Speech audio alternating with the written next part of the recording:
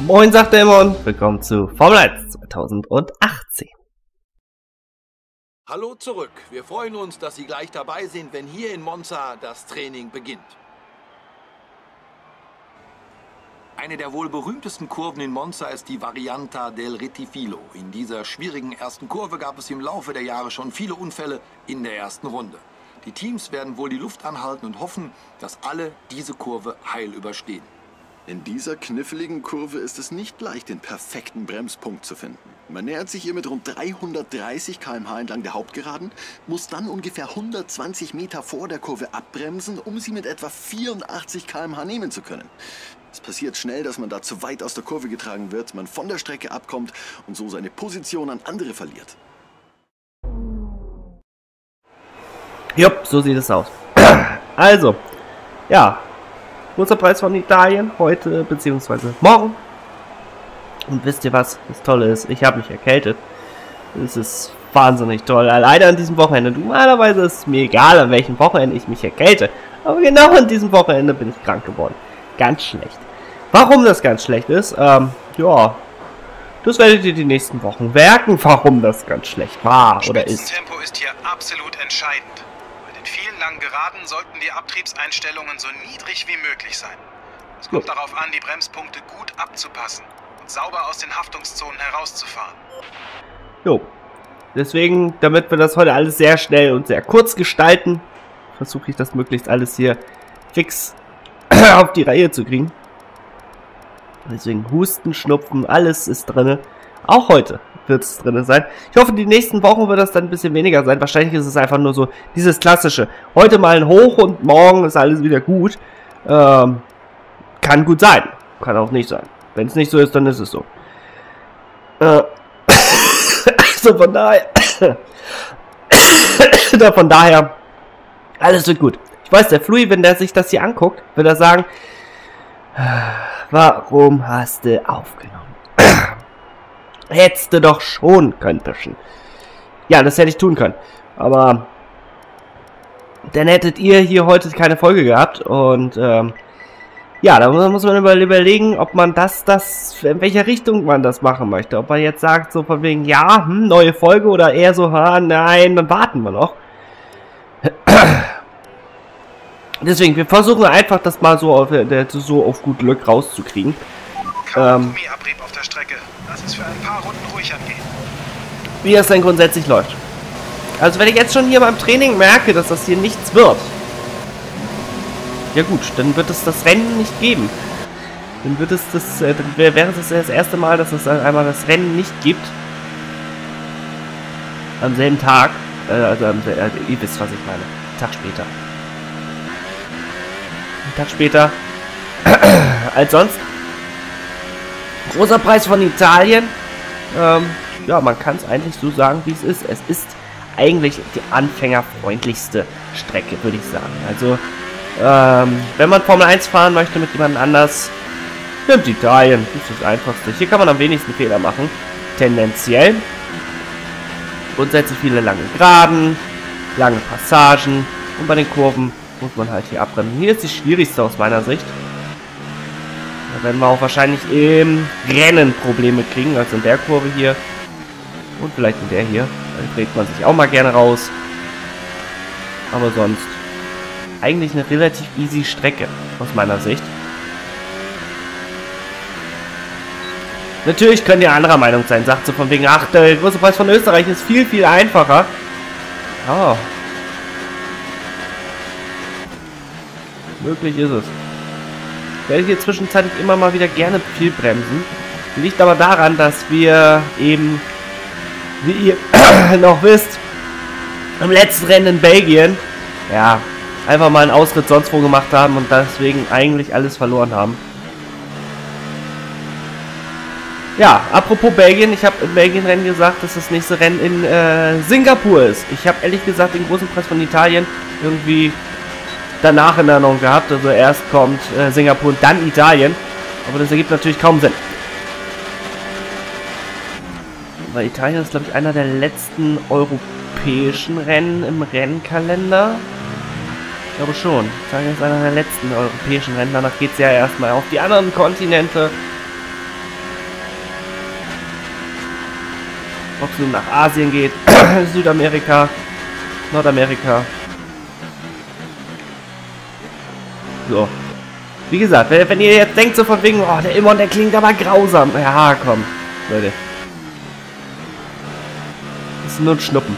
Er ist nur ein Schnuppen und nur ein bisschen Huschel. Mehr ist es nicht. Es ist nicht so, dass ich hier gleich sterben werde. Pff, so weit kommt's noch. Könnt ihr ja gar keine Bundesliga-Tipps mehr sehen, ne? Wäre schlecht. Aber das heißt einfach auch, dass wir wahrscheinlich im Rennen des Öfteren, also wenn das hier nicht einwandfrei laufen sollte, im Rennen des Öfteren mal kurz Pause machen, kurz schnaufen, ausschnaufen und dann weiter. Natürlich so ein bisschen ärgerlich, dass das jetzt so ist und dass nicht das Rennen von Singapur das betrifft. Das Rennen von Singapur wäre nicht wäre halb so wild, wenn das daneben gehen würde. Das in Italien ist schon schlimm, daneben gehen würde. Ja, als 28 ist okay. Aber Ocon ist, glaube ich, der Einzige, der mitgefahren ist.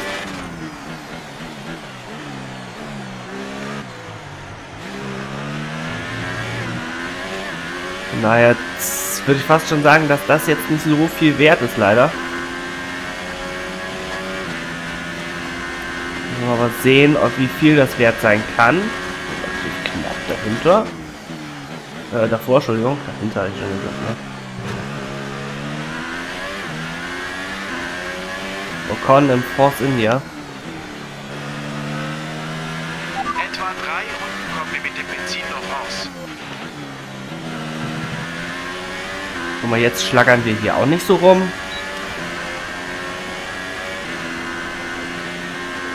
Und dann ist auch, geht doch das Delta gleich nach oben, so wie ich es haben möchte. Ja. Nur abgekürzt, sehr schön. Aber eigentlich war das schon ganz schön herbe. Also bei normalem Rennverlauf hätte es auch gut und gerne dafür schon eine Strafe gegeben.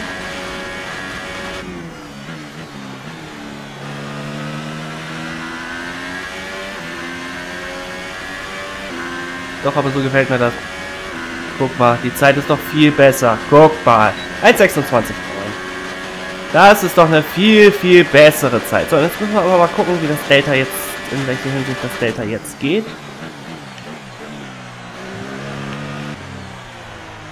Ah, das war nicht gut.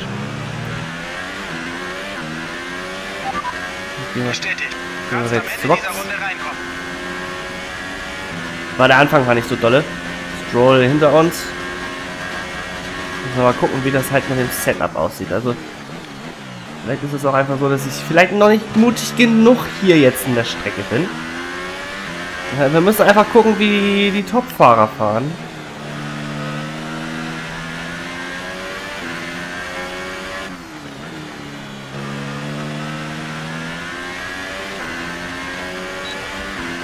Wie gesagt, Ocon und Stroll, die sind jetzt nicht diejenigen, die unser Maßstab sind. Dazu fahren wir auf Medium.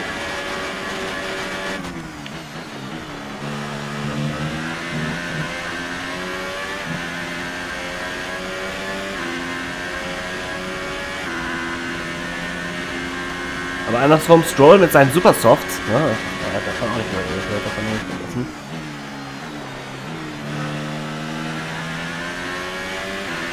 Okay, du musst an die Box, bevor dir das Benzin ausgeht. Boxenstopp innerhalb von zwei Runden. Jo. Also, mit den Mediums läuft es. Jetzt müssen wir gleich mal gucken, bisschen die Zeit abwarten. Weil ich kann mir sehr gut vorstellen, also wir können uns doch gleich nochmal kurz den Wetterbericht anzugucken. Ähm, ich kann mir gut vorstellen, dass das natürlich mit den Mediums jetzt überhaupt nicht funktionieren wird mit der Bestzeit. Das wäre es natürlich. Wenn echt die Mediums jetzt hier das kriegen. Wenn die das hier echt äh, kriegen, da wir eine Bestzeit haben und alles ist super, das wäre natürlich echt grausam. Dann wären unsere Konkurrenten echt luschen. Muss man einfach sagen. Da müssen wir definitiv was uns überlegen. Ne, Stroll hat in der ersten Sektor bessere Zeiten gefahren als wir. Ähm, aber das sind, wie gesagt, das sind nicht unsere beste Maßstäbe. Runde bis jetzt liegt bei So. Wettertechnisch wird es sich nicht ändern. Ähm. Supersofts eine Sekunde schneller. Wir machen mal ein bisschen vor. Einfach um zu gucken, was wir denn hier als Sektorzeit eventuell... Guck mal an. Guck mal an, guck mal an. So, der Vettel ist relativ nah dran an uns. Die anderen da unten sind noch nicht gefahren. Würde schon gerne nochmal dann dementsprechend rausfahren. Und zwar dieses Mal dann mit den Supersofts.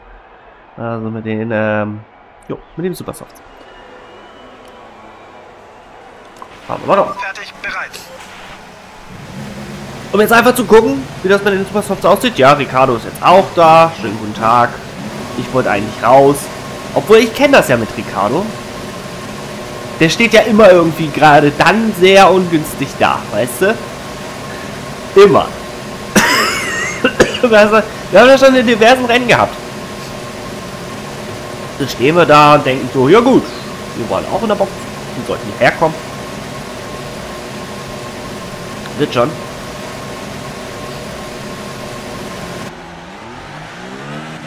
Ja. Also, Vettel knapp hinter uns.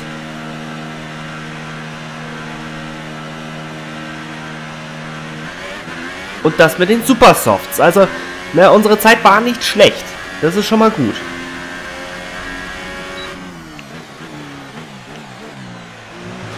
Aber interessant, dass Stroll immer noch auf Platz 3 steht. Das ist so ein bisschen beängstigend, ehrlich gesagt, aus meiner Sicht. Dass Williams so weit vorne ist. Weil Ricardo ist ja auch rausgefahren, also...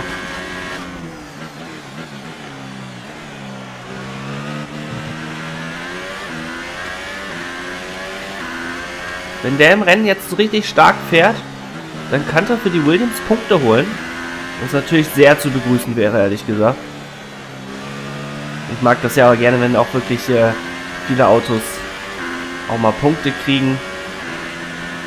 Früher bei den Formel 1 Spielen war das manchmal auch so, wenn ich schon Weltmeister war, dass ich dann die Vorderen einfach ausgebremst habe, dass die Hinteren Punkte kriegen konnten.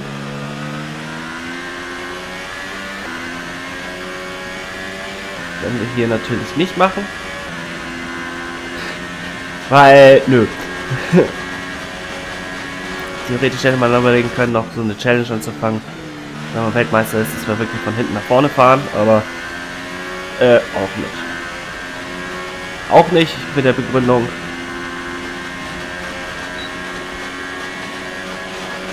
Dass wir vielleicht genau da dann die Punkte brauchen für unsere Konstrukteurswertung. Das war sehr spät getrennt.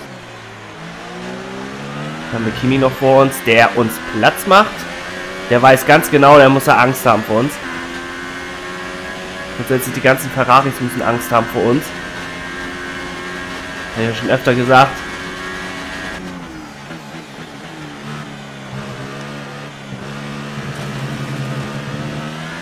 Ja, das war Eastbed.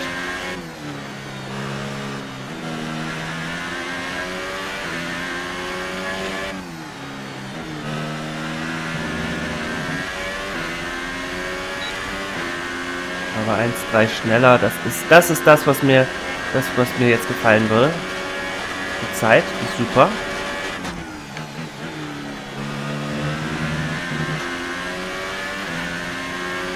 Etwa drei Runden kommen wir mit dem Benzin noch raus.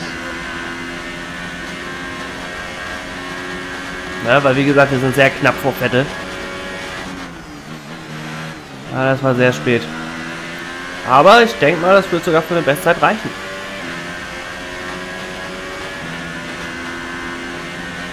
Jupp. 1,25. 1,5.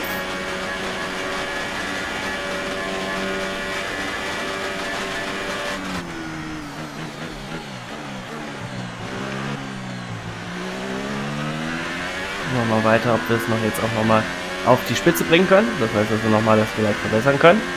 Wenn ja, dann, äh, ne, klar. Das war selten dämlich. Aber hier sind wir ja auch über Kies gefahren. Dass wir jetzt hier direkt wegmachen können. Super.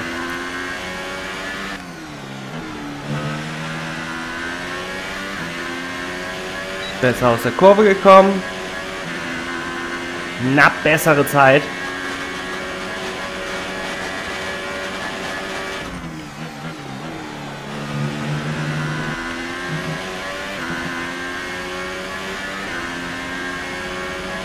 So. Ja, müssen wir jetzt gucken, ob wir das Risiko eingehen, ob wir sagen, komm, das Delta wird schon hinhauen. Nee, nicht.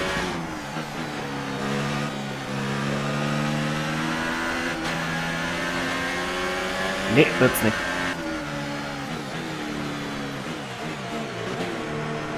Deswegen direkt in die Box.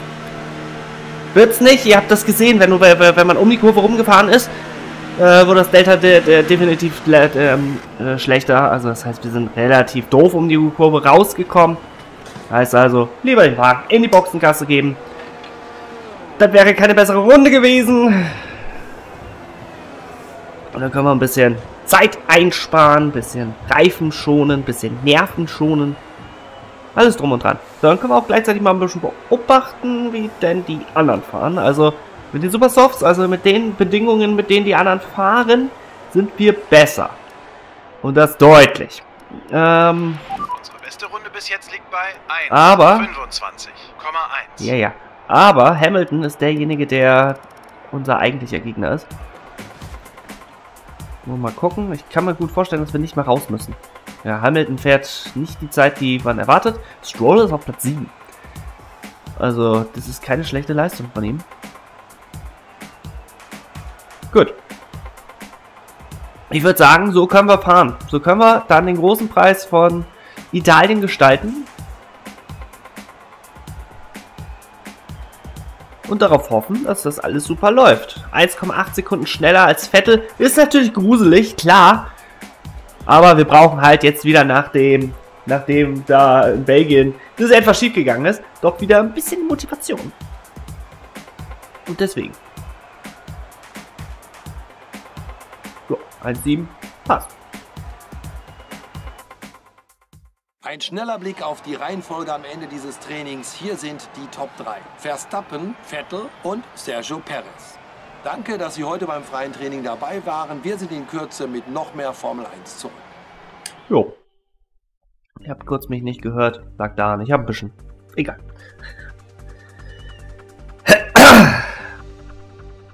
Also, dann schauen wir mal, wie das jetzt im Training läuft. Ob es besser läuft oder ob es genauso läuft.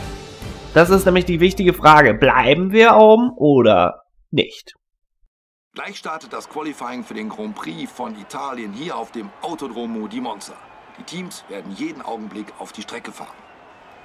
So, Stefan Römer, ein neues Grand Prix-Wochenende, eine neue spannende Qualifying-Session, die vor uns liegt.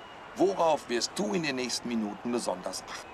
Die wichtigste Frage ist, wer hier am besten Fehler vermeiden kann. Viel Spielraum für Fehler hat man im Qualifying nicht und man sollte bedenken, dass sich die Streckenbedingungen seit dem freien Training verändert haben könnten. Vor allem, weil in der Zwischenzeit einige Vorbewerbe stattgefunden haben. Wenn man zum Beispiel die Bremskraftverteilung nicht an diese Bedingungen anpasst, kann es leicht passieren, dass ein Vorderrad blockiert und eine Flachstelle am Reifen verursacht. So einfach ist eine Runde ruiniert und ein ganzer Satz Reifen verschwendet. Mhm. Deswegen, wir müssen jetzt mal gucken, mit was wir denn fahren. Ich denke mal, wir fahren mit dem Supersoft, definitiv. Und am besten direkt jetzt, wenn, ähm, warum nicht? Alles fertig. Warum nicht? Siehst du, da fahren auch schon die ersten raus.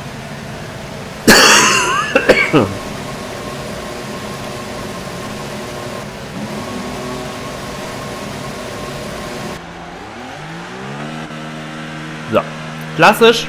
Einführungsrunde mager. Vorfahren ruhig. Weil vielleicht brauchen wir zwei. Vielleicht brauchen wir zwei Runden. Vielleicht eine. Das wird sich zeigen.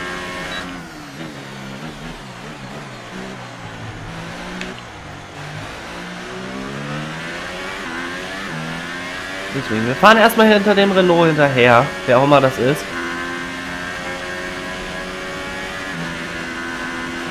Versuchen dann so schnell wie möglich einmal rumzukommen.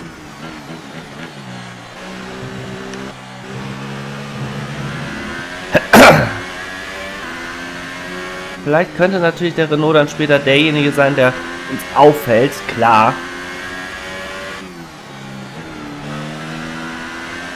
Ja, vielleicht kriegen wir ihn aber auch schon vorher.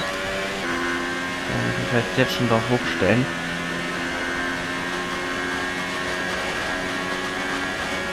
Weiß, ich habe nur auf Standard jetzt hochgestellt.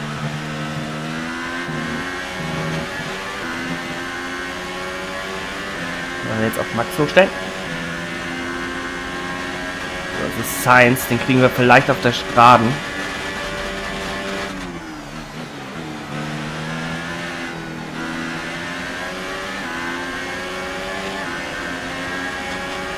So, vielleicht kriegen wir ihn hier.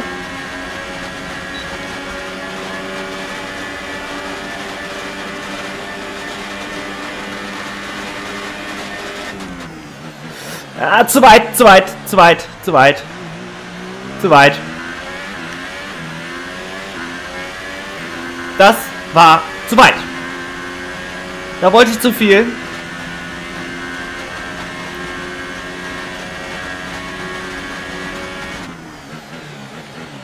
Das ist dementsprechend eine ungültige Runde.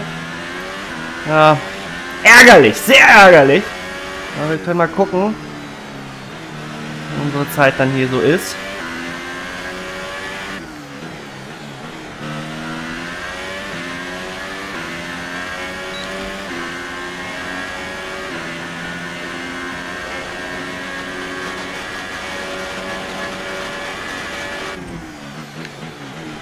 und schön konzentriert bleiben. Ich weiß, wie gesagt, ich rede hier heute wenig.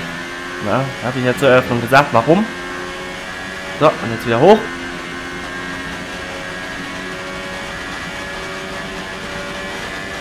Nächstes Mal wird es besser, glaubt mal.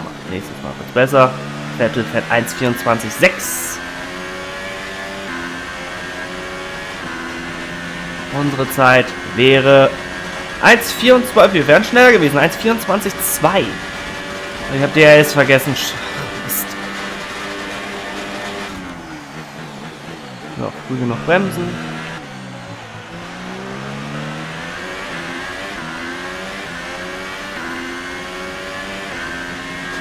Wer auch immer vor mir fährt, wahrscheinlich Kimi. Äh, fahr bitte eine Hot Lap, mein Freund. Wir haben nur noch Benzin für eine Runde. Ja. Alles gut.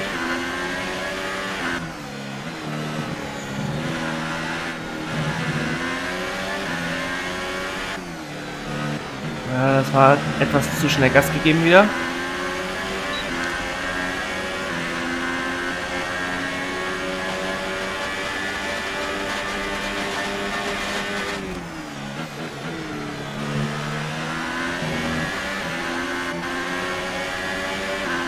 So, vielleicht kriegen wir sogar mit Windschatten den überholt. Du kannst uns nicht hier weiter ausdrängen.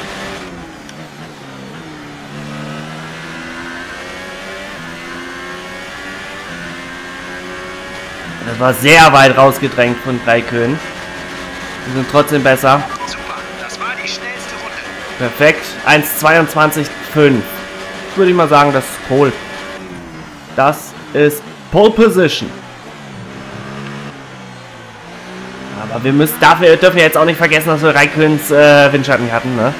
Also das wäre vielleicht auch ganz anders gelaufen. Ohne diesen. So, wir schaffen es einmal auch noch in die Box. Denke ich. Geht klar, Boxenstopp in dieser Runde.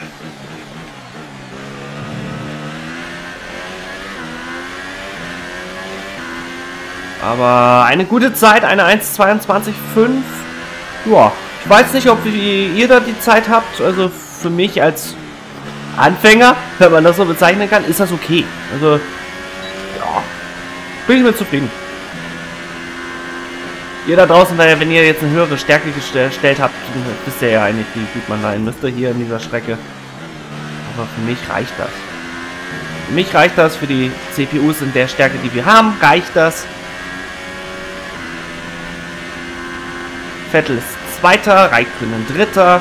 Wir müssen einfach gleich gucken, wie viel Zeit wir denn an der gesamten Situation haben.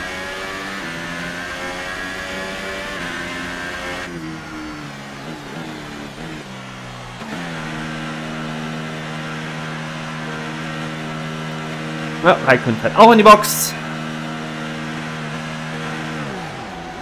So. Jetzt wird sich das zeigen. War unsere Zeit wirklich gut oder schien sie nur, dass sie gut ist? Das ist die große Frage. War sie gut oder schien sie nur so?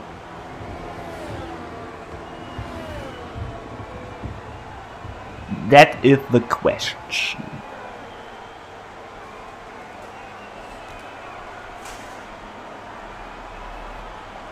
So. Also. Und die Antwort lautet, jo, sie war gut. Unsere beste Runde liegt jetzt bei 1 Minute 22,5. So. Dann ist es so, dass man mir ja den Trick verraten hat. Mir hatte man ja gesagt, so von wegen, wenn du jetzt mit den Reifen rausfährst, sind die automatisch schlechter. Das heißt also, ne, man sollte das überlegen. Um, ja, wir gehen auf Soft. Oder starten wir, starten wir mit dem Rennen auf Softs? Äh, wir sind 0,4 Sekunden langsamer. Wir starten auf den Supersofts. Starten auf den Supersofts, denn wir gehen jetzt raus, um es wieder reinzugehen. Einmal einfach nur rum. Ich weiß, der eine oder andere wird jetzt sagen, so von wegen, ist das echt dein Ernst? Ja. Ähm. Jo, wir fahren wieder raus. Kann losgehen, sobald du bereit bist. Weil ich denke mal, das reicht mit Pol. Brauchen ja nicht irgendwie noch eine Runde fahren. Wie gesagt, wir fahren einfach jetzt nur die Runde, damit wir bessere Reifen haben. Mehr ist es nicht. Für mehr ist es nicht, deswegen fahren wir auf Mager. Einmal nur rum. Haben wir die besseren Reifen. Und nicht zwei Runden alte Reifen, sondern nur eine Runde alten Reifen. Können theoretisch auch abkürzen, aber ehrlich gesagt, denke ich mal, hoffe ich mal, dass das dann äh, Regelverstoß ist und dass das die Disqualifikation bedeutet.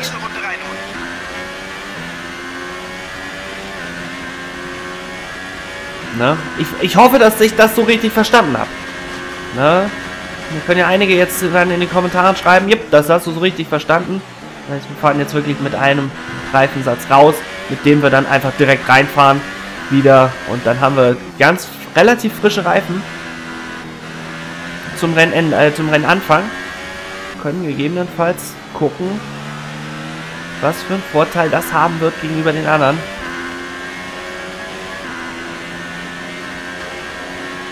Das wird sich zeigen. Weil wir brauchen keine Runde mehr. Da lege ich mich fest. Wir brauchen keine Runde mehr. War das jetzt ein Dreher von, von hier, von vor, von vor dem, der jetzt vor uns ist. Der jetzt sehr, sehr schnell vor uns ist. Ausgedreht oder was weiß ich. Stroll ist das.